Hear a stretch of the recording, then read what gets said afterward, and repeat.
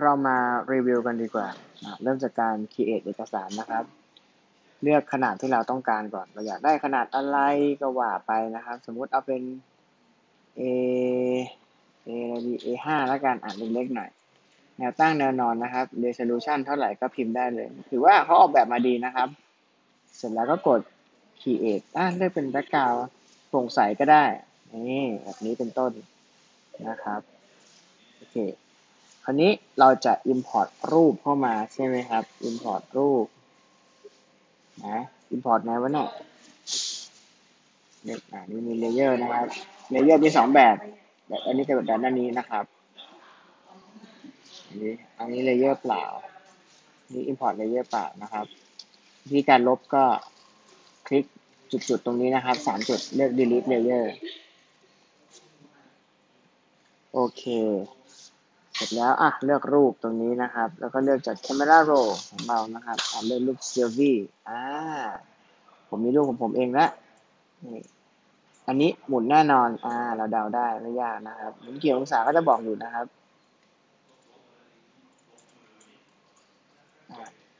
โถทำไมไม่มี snap เลยลูกอะ อะคืนข้ามได้เลยนี่อะ โอเค แบ็คแล้วกัน อะ ลิปกลับด้านนะครับ ซ้ายขวาเนี่ยมีให้เราเลือกใช้ได้ อยู่ตรงเมนูด้านขวาบนตรงนี้นะครับตรงนี้นะครับนี่อะโอเคครับเราก็จัดการได้เลย หรือมีหมุนเลื่อนด้วยอ่าโยได้โยได้ดัดมุมได้ด้วยโอ้โหแค่นี้ก็เนี้ยบสุดๆแล้วครับ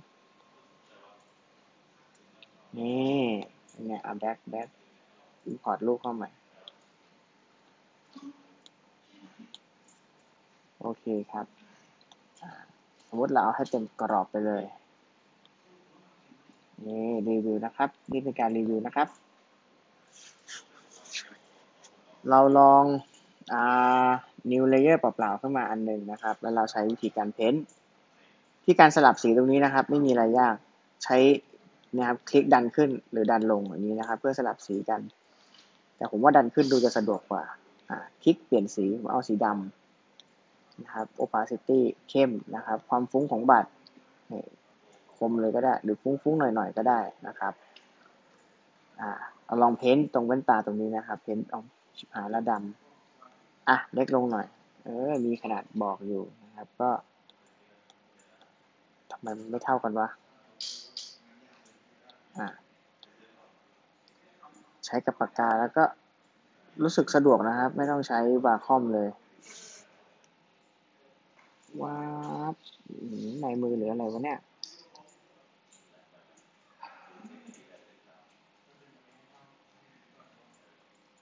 โอเคครับ เราถมข้างนอกแล้วเราจะได้เก็บข้างในง่าย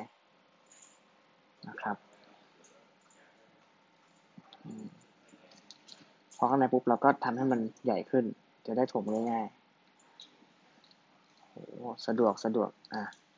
ข้างนี้เราก็ทำเช่นเดียวกัน ใหญ่เกินใหญ่เกินอ่าชวบชวบพูดเกิน อะ บาดเล็กลงหน่อย อุ้ย ยังไม่ชินนะครับยังไม่ชิน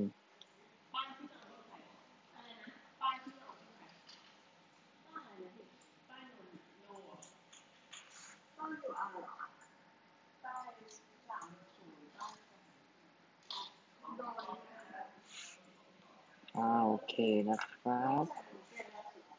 อุ้ยเกินนี่นี่เรากลบตรงนี้สักหน่อยหนึ่งโง่ๆเลย อ่า โอเคครับ เราสามารถปรับเอฟเฟกของมันได้อยู่นะครับ มันมีเอฟเฟกอยู่ ไหนว่า effect effect effectเปลี่ยนชื่อได้นะครับ ไม่สนใจแต่บันคีเพื่อเปลี่ยนชื่อ อะ opacity นะครับ blend mode ไหน blend mode ไหนนี่ปรับได้นะครับไอ้พวกนี้คือโทนสว่างเนี่ยเราก็ปรับได้นะครับมาให้เข้มขึ้นอย่างนี้ก็ได้ opacity ลงมาอีกก็ได้นะครับ โอเคต่อจากนั้นเอ่อผมจะใช้วิธีการ duplicate นะครับ คลิกจุดๆนี้ duplicate layer แล้วปรับสีที่ layer นี้นะครับ ปรับสีที่ layer นี้ นี่ปรับสีที่ layer นี้ อันนี้แต่ว่าเอฟเฟกบางตัวยังใช้งานไม่ได้นะครับ อันนี้เป็นการเป็นสีเราไม่เอาไม่เอาดีกว่าอ่ามันมีเอฟเฟกปรับตรงไหนวะอะ add clipped adjustment เนี่ยดูซิปรับปรับปรับเอ่อเอา brightness ก่อน แต่ว่าอันเนี้ยมันเป็น layer ที่นี่สลับได้นะครับ คุมทั้งหมดของตัวนี้ผมว่า ไม่ใช่อย่างที่ผมอยากได้ เพราะว่าถ้าเกิดผมเปลี่ยนตรงนี้ มันจะเปลี่ยนทั้งหมดเลยนะครับไม่เอาดีกว่าอ่า delete แนทออก delete ทั้งเลเยอร์ไปเลย อ่าดูซิมันจะมีแค่นี้เหรออ๋อ ต้องคลิกที่ตัวมันเอง เอา้า ไม่เอาแบบนี้ ไม่ได้อยากได้ อ่า สมมติแบบนี้แล้วกัน แต่ข้อดีของมันนะครับ คือเราสามารถเลือกตรงนี้ได้ครับเหมือนใน Photoshop คือคลิกตรงแมสตรงนี้นะครับ ผม ผมเท สีดำก่อนดำคือไม่เอาใช่ไหมแล้วผมค่อยมาเพ้นขาว เช่นอยากให้ตรงไหนมันดำขึ้น อ่า ผมก็ปรับ opacity ขึ้นเสื้อผมก็จะมีความเข้มมากขึ้น แบบนี้เป็นต้นนะครับ ปรับความฟุ้งหน่อยก็ได้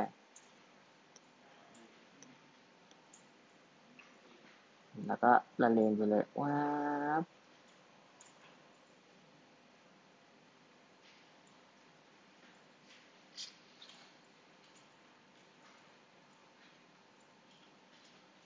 หรือปรับแบบตรงนี้หน่อยดำถ้าเกิดมองว่าดำไปนะครับ เราแบ็กได้ แล้วก็ปรับ opacity ให้ลดลง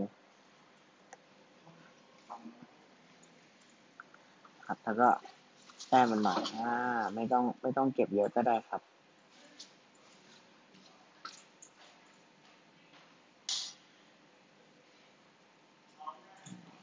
เพิ่มอ่าปรับ opacity ลงอีกหน่อยก็ได้ครับปรับตรงนี้อ่าเข้มนิดนึงค่อยๆเกี่ยไปได้อยู่ได้อยู่ นี่เป็นการเทสนะครับ นี่เข้มขึ้นหน่อยนึงตรงนี้อีกสักนิดนึงเกี่ยเกี่ยมันหน่อยข้างบนนี้สีมันอันนี้มันต้องเกลี่ยนิดนึงอ่าเห็นไหมครับ เราก็เป็นงานเกลี่ยไป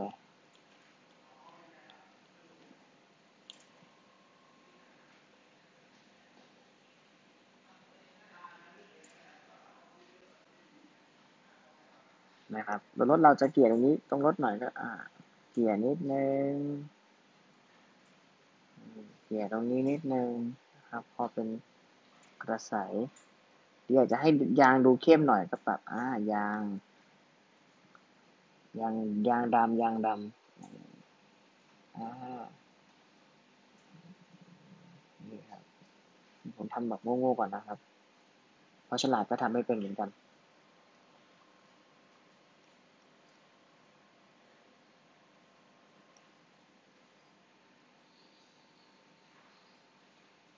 โอเค ต่อมานะครับ เราลองดูเป็น layer เปล่าขึ้นมา แล้วใช้บัตรนะครับ อันนี้คือบัตร บัตรมีกดค้างได้นะครับ อยากได้บัตรแบบไหนเลือกได้เลย แล้วก็ปรับขนาดเอา สมมุติผมจะถมเป็นฟ้า อยากให้ท้องฟ้ามันดูเป็นฟ้ามากขึ้น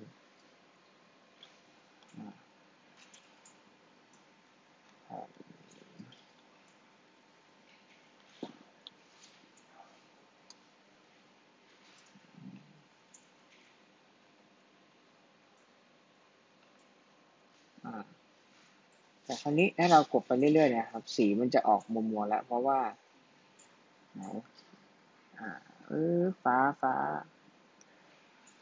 บัตรนี้อาจจะไม่เวิร์กสำหรับเรา ก็เปลี่ยนบัตรใหม่หรือบัตรแบบกดค้างนะครับ โง่ๆเลย อ่า แบบนี้ก็ได้ สมมติแบบนี้ก่อน แล้วปรับนะครับเบนโหมด ให้เป็นสีโทนสว่าง เราก็เลือกตามความเหมาะสมได้เลยนะครับ สมมติเลือกแบบนี้ปุ๊บเราก็อะอะไรปรับความฟุ้งของขอบหน่อย อย่างนี้ก็ได้นะครับ แล้วก็ข้างบนก็ปรับเฉดให้มันเข้มขึ้นฟิวฟิวหน่อยอ่าบัตรเล็กลงผมลองเอาออกขาวๆหน่อยสลับสีกันปรับ brush เล็กลง opacity ลดลง ฟิวฟิวหน่อย แต่อันนี้มันเอาขาวมากไปผมว่าไม่ work เราลองหาเครื่องมืออื่นซิมีเครื่องมืออะไรน่าสนใจบ้างอ่าบัตรนี้ไม่อันนี้ยังลบนะ เราก็ลองใช้ยางลบดูครับกดค้างเลือกแบบตรุ้งฟริ้งหน่อยลบใกล้ๆบวกออก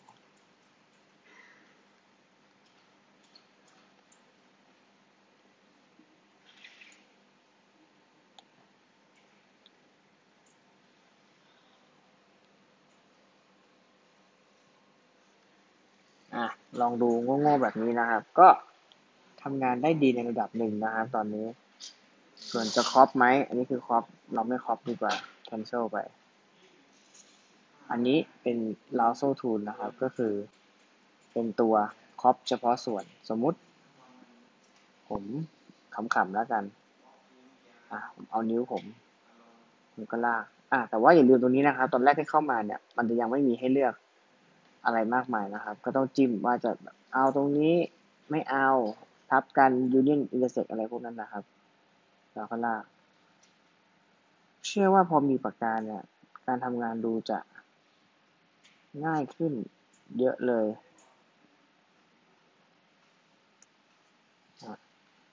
นะครับ แล้วผมก็ใช้คำสั่ง copy copy ไหนวะ copy layer อ่า ดึงใส่เลเยอร์เปล่านะครับ แล้วก็ใช้คำสั่ง paste นิ้วผมอันเดียวมาแล้วนะครับ ใช้อะไรนะเขาเรียกว่า selection tool ใช่ไหมมีสองนิ้วเลยนะครับ ผมก็ขยายนิ้วนี้ขึ้นปึ๊บขยายนิ้วนี้ ขยายไงวะ ขยายไงวะเนี่ย ไหนดูซิดูคำสั่งก่อน มีคำสั่งอะไรให้ใช้บ้าง ไหน เป็นการงมเครื่องมือแล้วนะครับ ไม่ใช่ไหนวะอาจิ้มค้างก็ไม่มี ไม่อะอ๋อดับเบิลคลิกเพื่อเลื่อนไปในตำแหน่งนั้น อ๋อ โอเค ไม่ถี่อยากตั้งชื่อ ไหนดูซิ มี smart filter อะไรให้เล่นบ้าง dimension ไม่มี ไม่ต้องการ อะ งมเลยครับ งมเลื่อนนี้ได้ไหม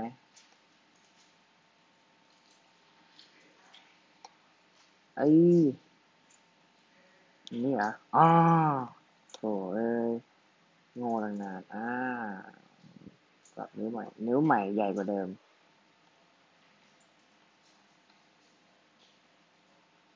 นี่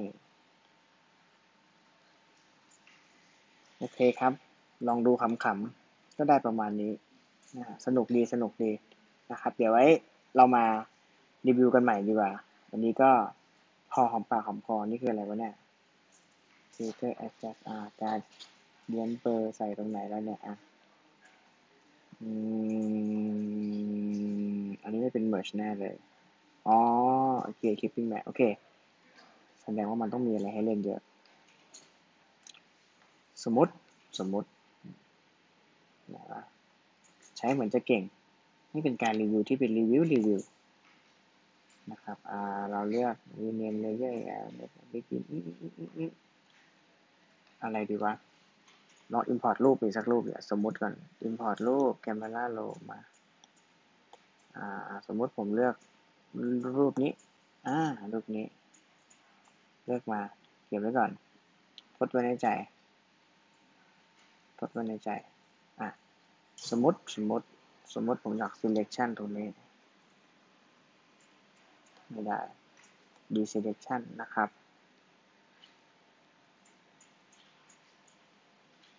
อ่า โอเค ผมลอง select ตรงนี้ แล้วมันลบภาพตรงนี้ได้ไหม มันมี invert ไหม invert อ่า invert ได้นี่ invert อ๋อ โอเค ถ้าผมลบ ลบเลย opacity ขอเข้มๆหน่อยไม่ work อันเนี้ย เอาแบบโง่ๆดีกว่าเออ มา ลบทิ้งมา ลองใช้เครื่องมือก่อนอ่า deselect ปุ๊บ ผม อันนี้เทเครื่องมือนะครับ อยากรู้เหมือนกันว่าทำอะไรได้บ้าง ผมปิดตานี้ อ่า นี่ไงก็มาตามเชฟนิวได้เลยนะครับ โอเค มีการเทสเฉยๆมันก็ได้ตามเชฟนี้แล้วนะครับ แต่เรานี้ไม่เอาเราก็ลบทิ้งไป delete layer อ่า หรือไหนลอง import รูปมาใหม่สิผมเอารูป นี้เหมือนเดิมมาอุ้ยตาย อุ้ยตายอะอันนี้ ผมลองตรงนี้แล้วใช้คำสั่งอ่าปึ๊บ อ่า นี่ไงเขาเรียกว่าอะไร create clipping match ใช่ไหมครับ แล้วเราก็ใช้ transform จากตรงนี้เอา นี่เป็นไงโอเค เราไม่เอา เอาออกแต่ โอเค เยี่ยม อะ ผมลองเปลี่ยนใหม่ เอาอันนี้มากับแว่นตาดีกว่า ก็ แต่ว่าแว่นตานี่ติดไอ้นี่อยู่อะไรนะ ติด effect effect อยู่ไม่เอาเอาปรับเป็น normal อ่า เราก็เลื่อนอีภาพนี้เอาไม่ละอะสเกลต้องใช้อันนี้ เออ ได้อยู่ได้อยู่โอ้หมึนๆอยู่แล้วเนี่ยอะ พอหอมปากหอมคอแล้วศึกษาได้ประมาณนี้ก็น่าจะโอเคแล้วครับถือเป็นเครื่องมือที่ใช้ได้ดีเหมือนกันนะครับ หรือเราจะไปหาท้องฟ้าที่อื่นมาใส่ผมว่าก็ไม่น่าใช่ปัญหาละจากพื้นฐานที่เราลองผิดลองถูกดูก็สนุกดีนะครับ คลิปนี้จบลงแต่เพียงเท่านี้อะ